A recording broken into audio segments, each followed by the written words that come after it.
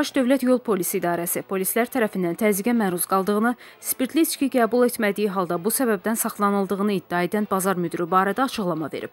Qurumun İctimaiyyətlə Əlaqələr şöbəsinin rəisi polkovnik leytenant Namidan Piriyev bildirib ki, sürücü Kamran Axundov hərəkətdə olan zaman təhlükəsizlik kəmərindən istifadə etmədiyi üçün DYP əməkdaşları tərəfindən saxlanılıb. Stat: Sürücüyə pozduğu qanun haqqında məlumat verilsə də o özünə haqq qazandırıb. Özünü Xırdalan bazarının müdiri kimi təqdim edən Kamran Axundovu polis əməkdaşları alkoqol şübhəsi ilə saxlamış olsaydı, o zaman onun spirtli içki qəbul edib etmədiyini alkotester vasitəsilə müəyyən etmiş olardılar. Lakin sürücü polis əməkdaşları tərəfindən tibbi müayinəyə aparılmayıb.